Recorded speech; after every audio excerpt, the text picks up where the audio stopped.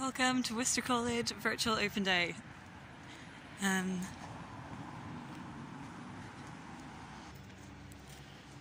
this area is called the Cloisters because of the little arches on the top. Um, and that is the chapel over there. And that would be the dining hall that would usually be open, but obviously because of COVID, we can't go in. Um, and this is the beautiful Worcester Quad. Again, there's quite a lot that is abnormal at the minute. We usually don't have scaffolding up, um, but that's to repair the roof. Um, so yeah, that's our quad. These are our sort of medieval cottages. We'll head down to Pump Quad and have a look there. Um, this area is called Pump Quad. It's where a lot of the first year rooms are, and down there is the cellar bar, which is obviously also closed. Um, so yeah, it's a nice little space for outdoor seating uh, when the bar gets a bit more full and whenever it's summer. You can just do some work on the picnic tables. And we're coming out to Nuffield Lawn, um, which is absolutely gorgeous at this time of year. Um, and luckily, it's the one spot of grass uh, that you're welcome to walk on. So we'll indulge in that and try not to get run over by the lawnmower. Um,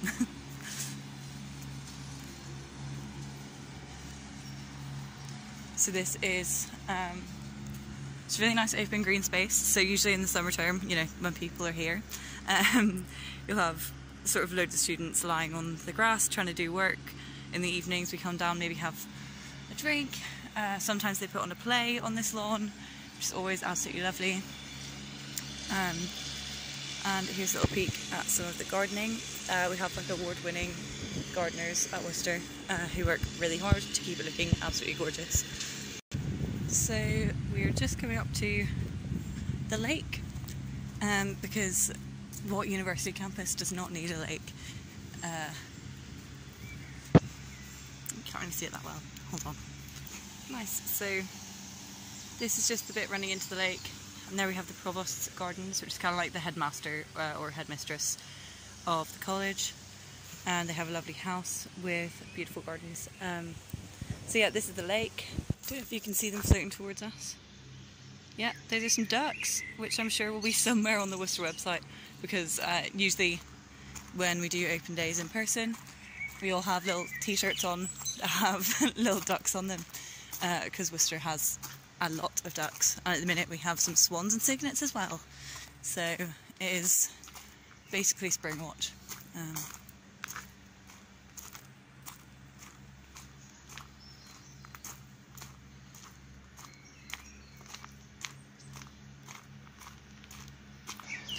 a nice little bench and this beautiful what I think is a willow um, it's one of one of the Instagram hotspots in Worcester. There are many, as you can tell. Um, so yeah, we just oh, little sorry, little bird just swam away.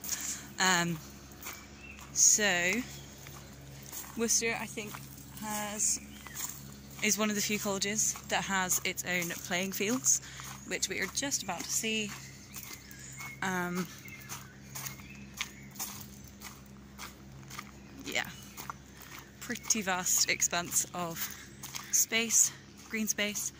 Um, we usually have sort of a croquet lawn set up in summer here.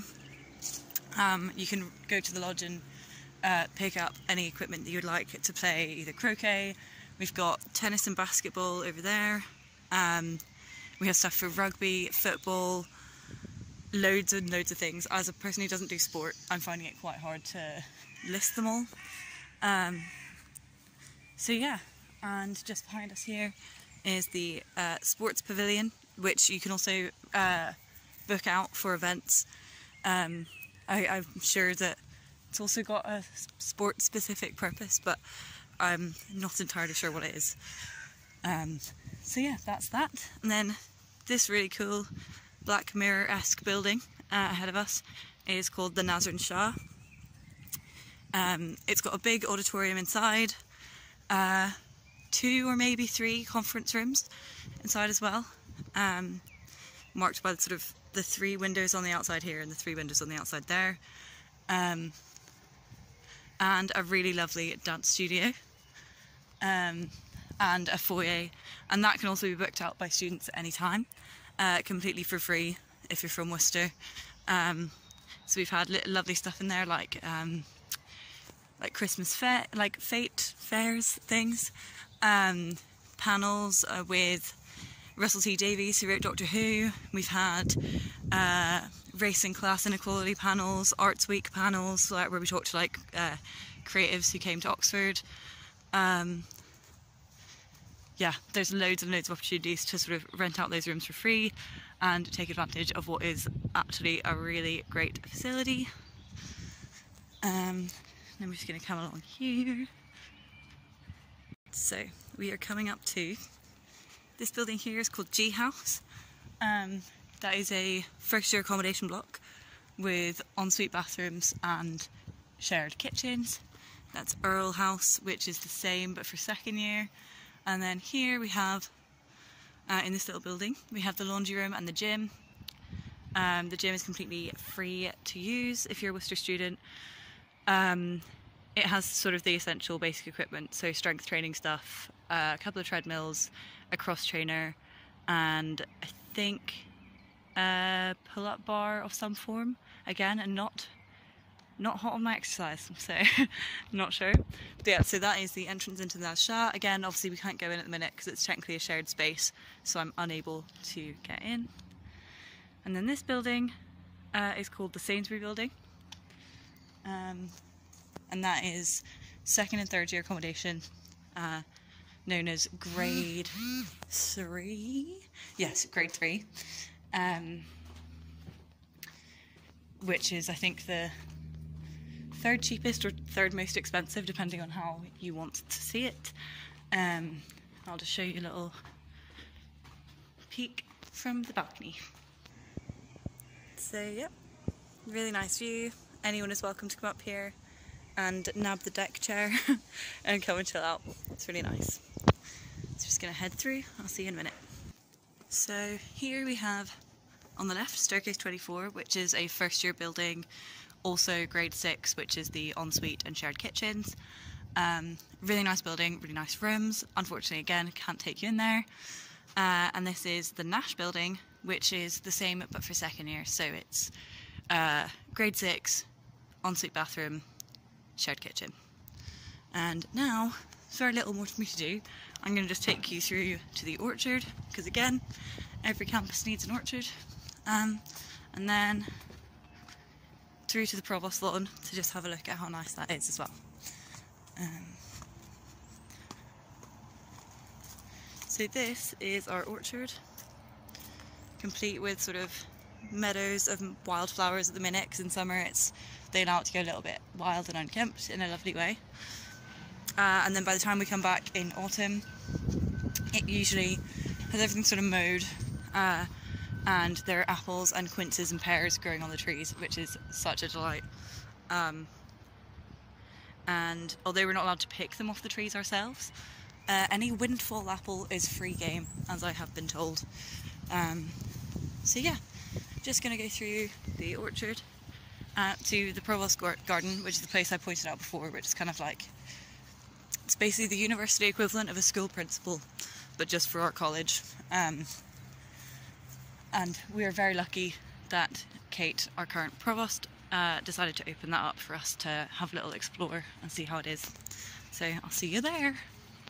So yeah, this is the provost lawn and you'll see in a moment that it is sort of facing the back of the quad so that those bushes there are the back of the quad um, and so this is the little treasure trove that is behind that we have the provost's lodgings in that building which is now is no longer lodgings has been turned into provost office and some tutorial rooms and a multi-faith prayer room at the bottom sort of between the stairs I don't know if you can see yeah there's a white door between the steps that's the sort of prayer room um, and yeah, so this is the lawn.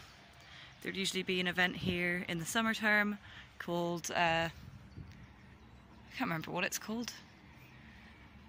Uh, garden party. It's a garden party. There we go. Um, to which everyone is welcome to buy tickets. It's always really fun. Like we get a gazebo and some music. So hopefully by next year, uh, or whenever you arrive, that will st- that will be back in play. Um, so I'm just going to briefly show you guys the rose garden because that is also lovely. Um, here it is.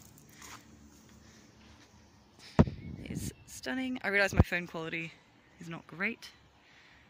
Um, but yeah, like I said, we are really, really lucky here and lucky that it's such a nice day. But yeah, so then that door there will take you back to the front of college. Um, thanks so much, guys. Hope this was at least partially uh, helpful or useful. But yeah, thanks so much. Good luck. Bye.